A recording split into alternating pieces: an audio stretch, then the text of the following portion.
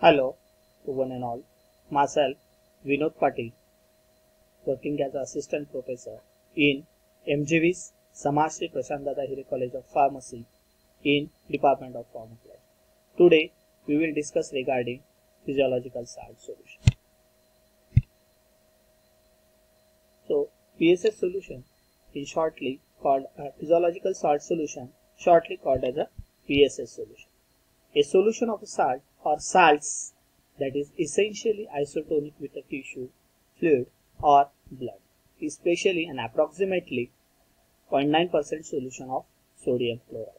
This PSS solution is also called as saline, brine, saline solution, normal salt solution, physiological saline solution or physiological salt solution. They can be labeled as a different. So just we will take the introduction. So PSS is an artificially prepared solution used to maintain a tissue in a viable state. Means whatever we are preparing the PSS solution, that is what artificially prepared solution. And so that they can be maintained the tissue for a maximum time of the alive or viable state. PSS can be used to keep isolated tissue alive under experimental conditions. PSS is very important to maintain a tissue outside the animal body and fulfill their internal environment of ions and nutrients. Means whatever we are performing in vitro studies through isolated tissue preparation.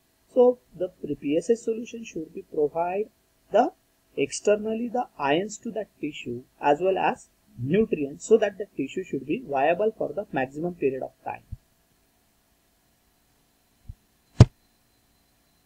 So this is what the name of the different PSS solution and here the name of the constituent of a different that should be added in PSS solution while preparing the PSS solution. So like the, the constituent includes sodium chloride, calcium chloride, then magnesium chloride, magnesium sulfide, sodium dihydrogen phosphate, potassium dihydrogen phosphate, glucose, sodium bicarbonate and calcium chloride. Some of the time the sodium lactate have to be added.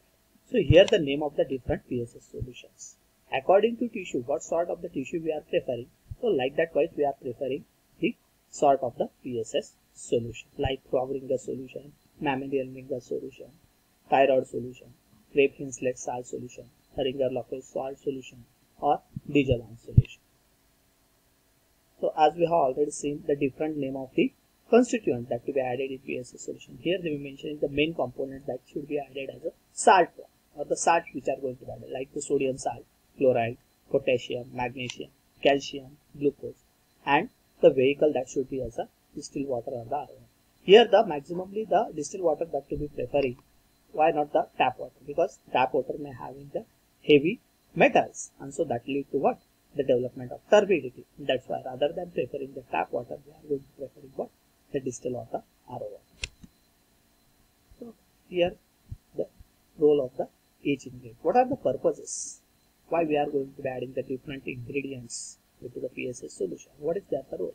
Like sodium chloride to maintain the isosmolarity, isotonicity, excitability and contractility of the preparation of the tissue. Then potassium chloride to maintain the ionic balance, calcium chloride that to maintain the contractility of the preparation, sodium bicarbonate to provide the alkaline pH, glucose to provide energy to that tissue, sodium or potassium dihydrogen phosphate. They can be acting as a buffer and magnesium chloride to stabilize the preparation and hence to reduce the spontaneous activity. This whatever the ingredients we are added, they are having what? The role of each ingredient so that the tissue should be viable for a maximum period of time. So same, whatever we are learning into the earlier center purposes of each. Here they will mentioning the salt into the form and what are the roles? The one and the same. This is the sodium we are going to what maximally the osmolarity or the osmotic pressure. Then potassium, so they can be what? Nerve conduction, muscle contractilities. Then calcium, the excitability and contractility. Magnesium, spontaneous activity. Potassium, dihydrogen phosphate. So maintain alkaline pH and act as what? The buffer. Sodium bicarbonate, they can be making what? Alkaline pH. And glucose and water, they can be what? The nutrient or the energy and the vehicle. So while preparing the PSS solution or the physiological salt solution, what precautions should be kept in your mind. So the calcium chloride is one of the salt that to be added in the PSS solution. While preparing your the PSS solution, that the salts, the heavy salt, calcium chloride, so that to be added to the last. Why? Because of what? To prevent the precipitation formation and chelation of bicarbonate ions. So that to avoid the precipitation, we can be add what?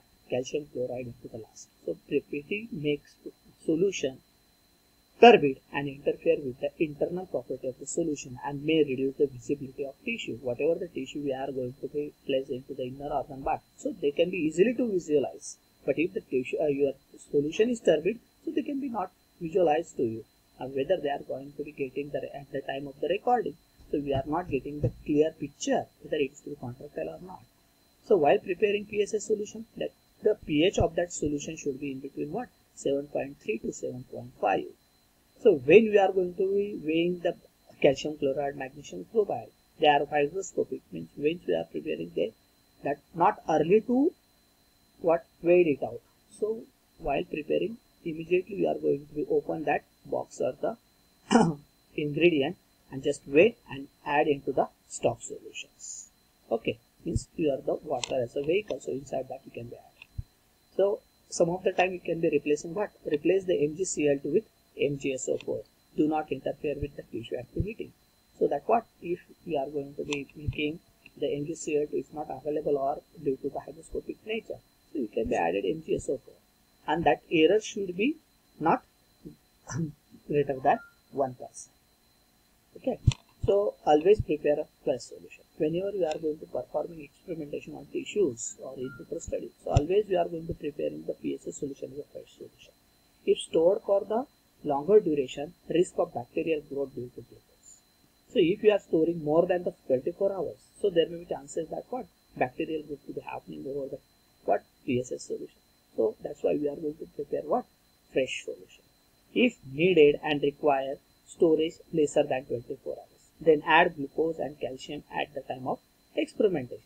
If you are going to be requiring second day again the same PSS solution, so rather than you are going to be adding into that PSS solution, the glucose and calcium chloride should be freshly to weigh and that should be added at the before the experimentation and can be stored for 24 hours in the fridge. The tissue aeration, 95% of the O2 is given to that tissue and 5% CO2, that's carbogen. So oxygen is important for survival of the tissue. Carbogen is important it is important. Pure O2 interact with the bicarbonate buffer in PSS which will cause CO2 loss and solution become alkalines. So that's what the, the combination or the oxygenation to be given to that tissue. The selection of PSS solution. As we have already seen the different name of the PSS solution. So according to what the sort of the tissue we are going to be used. So according to that the PSS solution could be utilized the Krebs solution that is the universal solution. While amphibian tissue if you are going to be used, so at that time you can be used what? Frog-Ringer solution. If you are going to be used smooth muscles tissue, so you should do prefer what? The Tyrode solution. If you are going to be used innervated muscles or the avian skeletal muscle, so always you should to use what? Krebs or De Jalon's McEwen solution. Or if you are going to use the heart muscle, so always you should to use what? Ringer Locke Means according to what sort of the tissue we are going to be used, According to that, we are preferring what? The type of the PSS solution. Thank you. Now we will proceed for actual procedure of PSS solution preparation.